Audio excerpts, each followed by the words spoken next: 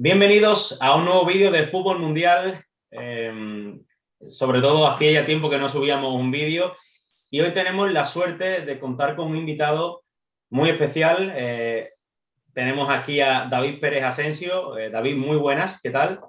Hola, buenas, buenas tardes, ¿qué tal?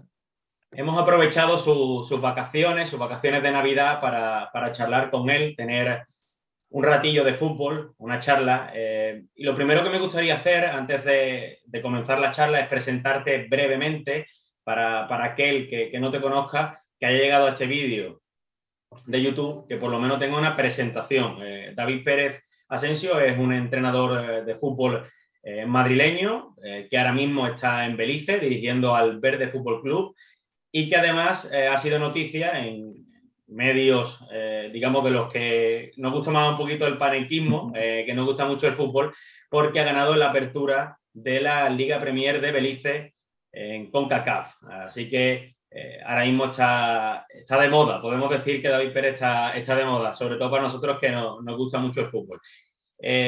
también, eso sí, aunque te he hecho yo esta breve introducción, sí me gustaría que nos comentaras eh, rápidamente, ¿cuál ha sido tu trayectoria y en qué equipos has, estado como entrenador? Bueno, pues a ver, yo empiezo a entrenar joven con 26, 27 años, por una lesión de rodilla dejo el fútbol y bueno, sobre todo empiezo mm, mi carrera, por así decirlo, o, lo que me une al fútbol como entrenador en, Móstoles. Eh, entreno en varios equipos de Móstoles, luego paso al Club Deportivo Móstoles, al URJC, Ahí estoy prácticamente 10 años, prácticamente todo el inicio desde pequeñitos, desde que entreno niños pequeños hasta juveniles. Eh, luego comienzo una aventura en China también, donde estoy un año trabajando allí pues, en, una academia en China y, bueno, una experiencia fuera. Cuando vuelvo me sale la oportunidad de entrenar en, el Alcorcón. Eh, estoy entrenando, he entrenado infantiles, cadetes, bueno, diferentes categorías los tres años que estoy ahí. Y bueno, actualmente me sale la oportunidad de irme a Belice a, una aventura eh, muy diferente, pero bueno, primera división, a jugar una competición internacional como la CONCACAF League también. Y bueno, ahí estoy actualmente. Ahora hemos sido campeones y, bueno, a ver qué, pasa en el, clausura. Bueno, para situar un poquito al público general, eh, vosotros habéis jugado una previa eh, de la CONCACAF League, que es como la Europa League eh, de CONCACAF, de Centroamérica, del Caribe. Eh, recordemos que algunos países ni siquiera tienen plaza para la CONCA Champions, que es la, competición máxima, eh, que además hace poco vimos esa final en la que Monterrey se hacía con la victoria en su, propio, en su propio estadio. comentarte un poquito por encima, David. tengo muchas preguntas y además creo que con sentido. Yo yo ahora mismo también soy entrenador, estoy empezando, aparte de que terminé periodismo y demás, tengo un equipo de cadetes, ¿no? Eh, ahora que estás fuera, eh, que estás en Belice, además he visto eh, algunas declaraciones tuyas, mm, ¿le das más importancia todavía al fútbol formativo que hay en España? Porque puede faltar esa estructura en, otros sitios. Sí, sobre todo cuando estás fuera y vas a países diferentes como China o, ahora mismo ahí en Belice el fútbol formativo es la base del, jugador para llegar a ser profesional con, una idea clara y eso se nota mucho cuando sale fuera que no tienen esa, base o esa capacidad, sobre todo eh, táctica, porque bueno, técnicas y a todos los que les gusta el fútbol trabajan mucho la técnica, mucho individual, pero sobre todo la base táctica y de conocimiento del juego, de, la toma de decisiones, eso es, es básico en las categorías inferiores para que, el jugador llegue formado. Es decir, que, que quizás eh, lo más importante, una de las cosas más importantes en las que incidirás eh, allí en, Verdes es el tema táctico, ¿no? Porque también, es que al final he hecho, hecho un poquito, tengo mis chuletillas por aquí, no te creas. Sí, no te preocupes. Y eh, sí, sí comentabas que a nivel físico y a nivel técnico te encuentras buenos futbolistas, muchos de diferentes nacionalidades, la mayoría lógicamente de, de Centroamérica, pero es el nivel táctico donde se marca un poco la diferencia, ¿no? Ese, ese orden y ese rigor que a lo mejor falta en, algunos equipos, ¿no? incluso en alguna mentalidad, ¿no? En algunos países. Sí, a ver, mm, yo cuando llegué allí me encontré un equipo, sí me esperaba algo peor, pero, pero me encuentro un equipo que físicamente eh, están incluso a un nivel alto aquí en España, o sea que no tienen nada que envidiar a, futbolistas de aquí. Eh, técnicamente lo mismo, hay jugadores con una capacidad técnica increíble, pero tienen una carencia de táctica y de, eh, de leer el partido, el, día a día en los entrenamientos, eso se nota muchísimo y, nosotros según llegamos allí nos enfocamos en ese aspecto táctico, en corregir movimientos, en la salida de balón. Allí se juega un fútbol muy directo, no, no se preocupan en tener el balón. Entonces, bueno, nos enfocamos en eso y en el trabajo de vídeo, el día a día de vídeo, que ellos allí no están nada acostumbrados y que ellos vean sus errores y, entiendan por qué les corregimos. Entonces, ese es el trabajo, el 90% de, nuestro trabajo en Belice es, lo, que, lo que tiene la táctica y, el vídeo.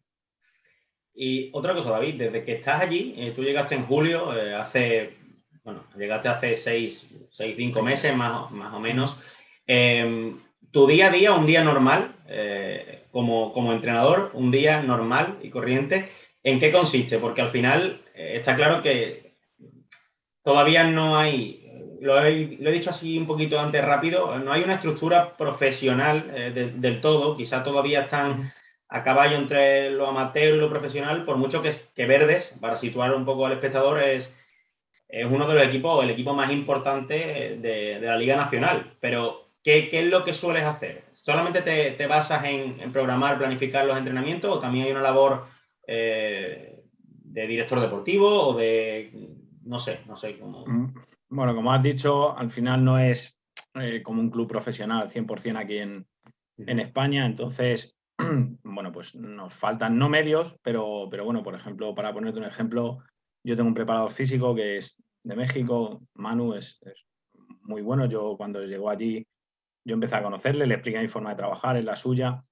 Pero luego, por ejemplo, tenemos un asistente, dos asistentes de Belice y un entrenador de porteros de Belice que, que bueno, al final, pues eh, tienen unas carencias importantes. Entonces, la carga de trabajo prácticamente la llevamos el preparador físico y yo. Entonces, desde por la mañana prácticamente empiezas a preparar sesión, empiezas a preparar vídeo, eh, intenta reunirte con los jugadores, yo hago muchas reuniones con ellos, hablo con ellos, les enfocarles un poquito en lo que es el fútbol profesional, porque bueno, como tú dices, Verdes es, el club eh, de Belice, el, que más veces ha participado en CONCACAF, ahora mismo tiene una proyección alta y bueno, tenemos dos personas en, la cabeza del proyecto, que son el presidente y el vicepresidente, que quieren invertir y, están invirtiendo en que, en que el club el club crezca. Y eso no es fácil allí en Belice, porque no, después del COVID, sobre todo, antes del COVID había más opciones, pero después del COVID allí fue, fue muy complicado. Si fue complicado aquí en España, perdiendo patrocinadores, etcétera, allí ha sido, ha sido complicadísimo. Entonces, ellos quieren participar en CONCACAF todos los años y por lo menos intentar pasar dos, tres rondas. Eh, bueno, que yo lo veo factible. Este año no tuvimos la suerte, yo llevaba muy poquito tiempo trabajando allí y bueno, también nos tocó uno de los cocos del sorteo y, bueno, no tuvimos esa suerte, pero, pero bueno, ya te digo que el día a día es levantarte pronto por la mañana porque si no hace muchísimo calor, café, ordenador y planificar, ver vídeos, eh, intentar reunirte con los jugadores. Eh, llegamos a las cuatro y media a entrenar, aunque empezamos a las seis para preparar y organizar todo. Entonces, bueno, prácticamente es el día a día es fútbol porque Belice no, eh, nosotros no tenemos mucho, muchas otras opciones en el día a día, salvo el día libre, entonces entrenamos seis días, cinco días depende de la semana, por lo tanto es fútbol desde, desde prontito hasta que llegamos por la noche. Me surgen otras preguntas, por ejemplo, eh, los futbolistas que tienes tú ahora mismo en la plantilla, eh, ¿son futbolistas que se dedican plenamente a, ser futbolistas o algunos tienen otro trabajo, por ejemplo? Salvo tres jugadores, los demás son todos profesionales, viven todos del fútbol. Solo tres de ellos, los más veteranos que ya llevan más tiempo, bueno, tienen su trabajo allí y, bueno, compaginan el trabajo con el fútbol, pero, pero los demás son todos, viven todos del fútbol, con mayor o menor eh, sueldo, depende de su edad, pero, pero todos viven del fútbol. Y el día a día, las charlas que tienes con ellos, los entrenamientos, eh, todo lo que programas, a ver, allí el idioma oficial, pues, me he estado también documentando, porque yo tengo que reconocer que hasta ver eh, tu noticia, y mira que somos frikis en este canal, y, bueno, no conoces a Antonio, que es el director, que ese sí que es friki, friki, friki. Eh, el idioma oficial es el inglés, aunque la mayoría de la población habla español. ¿Allí los jugadores, eh, la mayoría hablan español o, hay algún problema a la hora de comunicarse? El 90% hablan español y luego hay algunos jugadores que, solo hablan inglés. Tienes que hablar más despacio con ellos en español, te van, van entendiendo algo.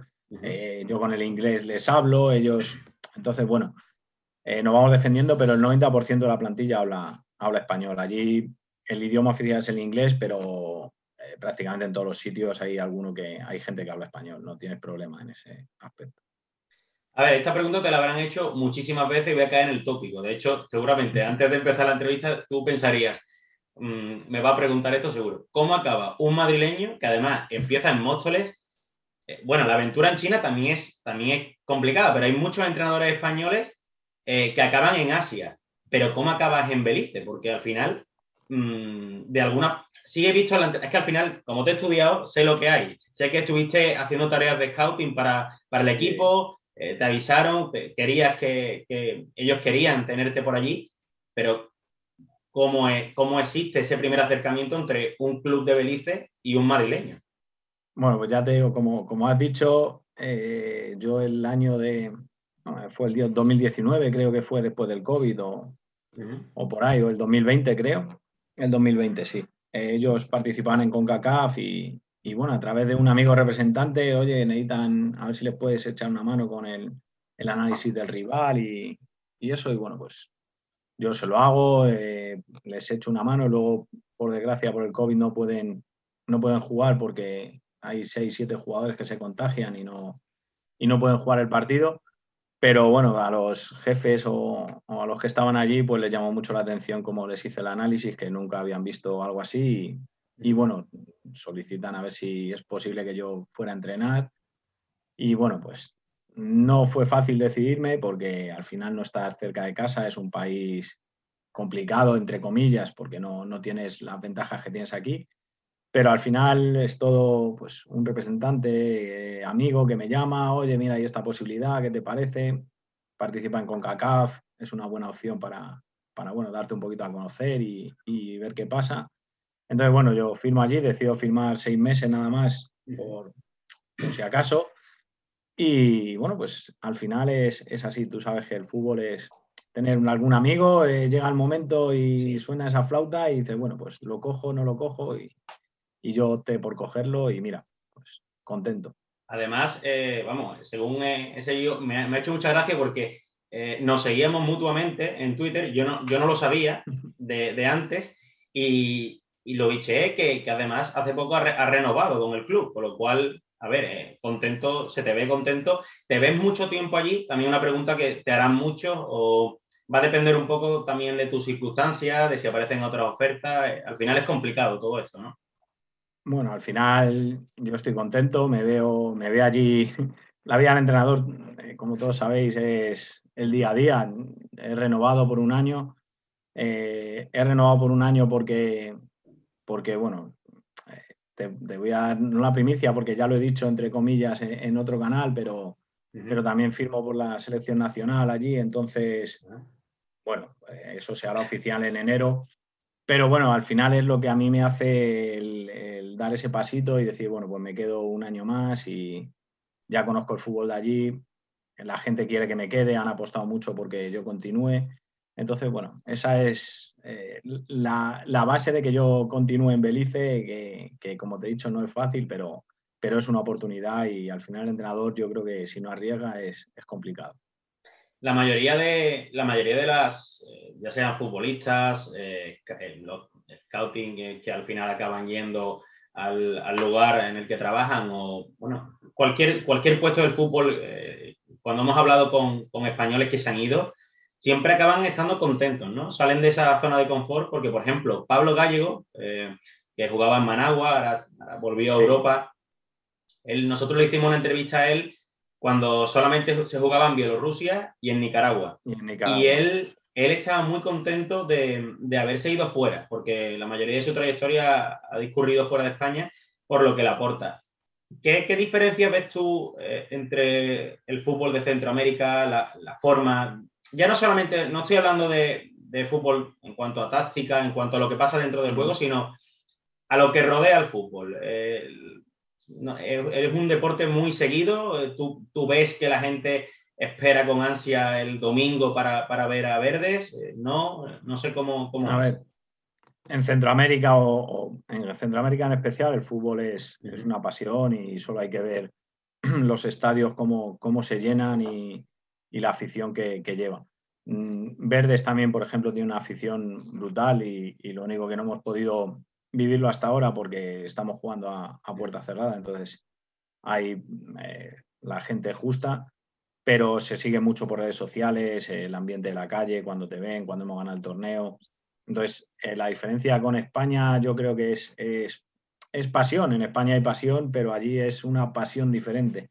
Eh, yo creo que porque aquí hay una cantidad de equipos enormes, eh, hay muchísimos equipos a los que seguir, eh, aunque somos muchísima más gente, pero allí al final cuando son de un equipo es, es algo que llevan muy dentro y, vamos, esa pasión el día a día. Yo he visto muchísimos partidos de, de ligas como Nicaragua, Guatemala y, y esas zonas, Honduras, y es, es, increíble, a veces excesivo, a veces excesivo también, pero, pero yo creo que la diferencia es esa, la, la pasión que tienen por, por, su equipo. Además es curioso porque poco a poco, eh, a mí me gusta que, que, se acerque ese fútbol a, también un poco al público español, ¿no? Ahora estamos hablando aquí, aunque nos, nos siguen también desde muchas partes de, de Latinoamérica, aunque seamos un medio pequeñito, por ejemplo, este año aquí en España, en Gol Televisión, se podía ver la Copa Oro que es algo que, que, mucha gente a lo mejor lo desconoce, pero poder ver a selecciones eh, con CACAF eh, jugando y viendo que hay un nivel más allá de, la, de, las estrellas emergentes, porque a todo el mundo le suena un Alphon Davis eh, jugando en el Bayern y siendo un lateral brillante, o Jonathan David, el del Lille, el delantero también en Canadá, muchísimo, bueno, Pulisic, hay muchísimos jugadores de CONCACAF que son muy, muy buenos, pero la, las selecciones también funcionan sin, sin esas estrellas. Eh, no quiero tampoco que sea muy, muy, muy larga la, la, charla, pero sí quería preguntarte también un poco a nivel personal. Eh, a ver, esto claro, esto es muy fácil verlo ahora, pero cuando empezaste a entrenar, y esto te lo estoy preguntando también un poco, como te he comentado, yo es mi primer año entrenando eh, en cadetes, aquí en un club de Sevilla, eh, ¿te veías haciendo todo lo que estás haciendo ahora? Al final también es una labor, te, te, lo tienes que imaginar un poco porque al final es sacarte licencias y y seguir poco a poco apostando por algo que te gusta. Al final, yo cuando empecé a ser entrenador, eh, yo quería ser entrenador, o sea, no es algo que, que empieces y diga, bueno, pues voy a, a, pasar el rato. Yo desde siempre he querido crecer y, y llegar a, a, un nivel más alto. Entonces, no me veía porque, bueno, cuando eres más joven o después, antes, con tantos años de diferencia, no te ves y pasa el tiempo y, y pasa el tiempo y sigues en España o sigues en un club de fútbol base y no, no ves un crecimiento. Entonces, al final, eh, me veía, pero por otra parte decía, hostia, esto es, es muy difícil, esto es complicado y, y, va a ser difícil.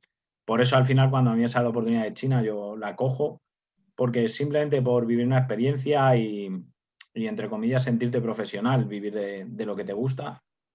Entonces, al final, a, coges ese tren y empiezas a conocer a mucha gente, ves otra cultura, otro fútbol, te abre muchas puertas. Al volver a España, al haber estado fuera, también te abre, te abre puertas. Y ya sí que cuando yo vuelvo de China, eh, estando en Alcorcón, yo sí que lo que quiero es, es, entrenar, aunque yo aquí estaba bien, yo entrenaba en Alcorcón, daba clases en Acadez, o sea, vivía del fútbol y de lo que me gustaba, uh -huh. pero, pero yo quería más, quería un pasito más de profesionalismo, de, de crecer por eso cuando sale la, aventura de Belice me lo pienso, sobre todo por la familia, pero, pero no por mí, que yo me hubiera ido al día siguiente. Simplemente fue el pensarlo por la familia y por la distancia, pero acepté por eso, por dar ese salto de, de calidad, crecer como persona, crecer como entrenador y, y, al final no es negar, es al final es abrirte currículum y abrirte puertas en, en otros países porque en España la situación es complicada para, para los entrenadores. Es complicado pro progresar porque al final la competencia es, es, amplia, es variada, además entran muchos factores que al final eh, forman parte, creo yo, de, de lo, del fútbol, ¿no? Forma parte del fútbol sí. y sobre todo hay que entender un poco el contexto. Muchas veces yo creo que puede parecer incluso frustrante cuando hemos hablado con otros entrenadores o amigos que también eh, entrenan, eh, es difícil.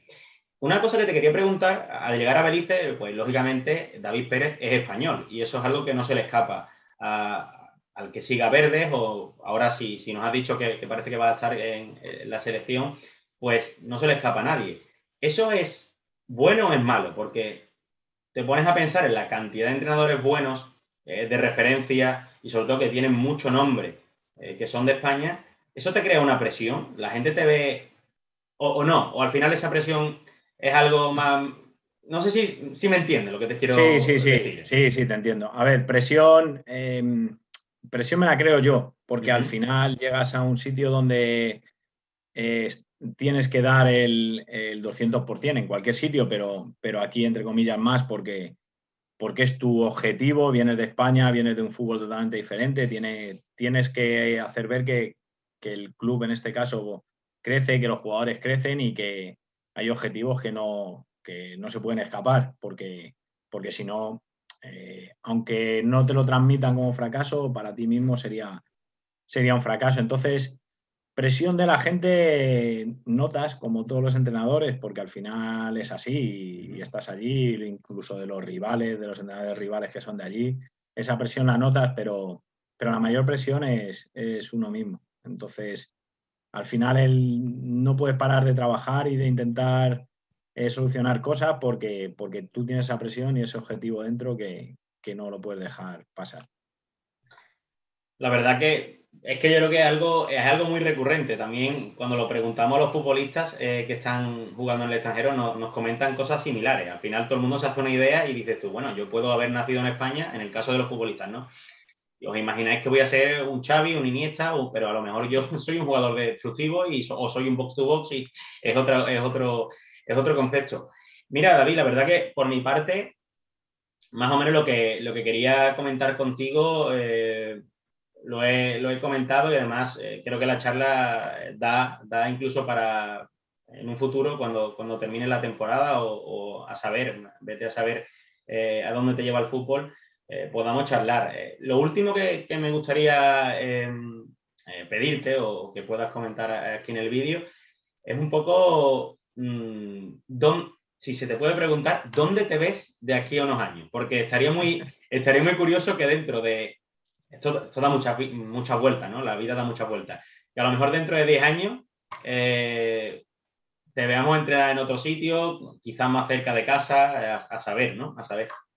A ver, verme, como te he dicho antes, es, difícil porque, porque es que no me veo más allá de lo que, de lo que tienes ahora, pero como objetivo, eh, como objetivo al final es estar más cerca de mi casa, España, eh, Europa, eh, no, tener que irte tan lejos para, para poder seguir creciendo o, entrenar o hacer lo que, o, tu trabajo, no tener que ir tan lejos y separarte de la familia pero ya te digo que ese es el objetivo, no es donde yo me veo porque, porque el fútbol es, eh, imprevisible, entonces no, no te sé decir, ojalá y me viera en España en... Yo no pido entrar en primera división, ni mucho menos, ojalá y llegase la oportunidad, pero en un club profesional que, yo pudiera seguir creciendo y aprendiendo y, más cerquita de, de mi casa. Eh, eso es mi objetivo a medio largo plazo, porque a corto es muy complicado, aunque nunca se sabe, como te he dicho, oye, ojalá y,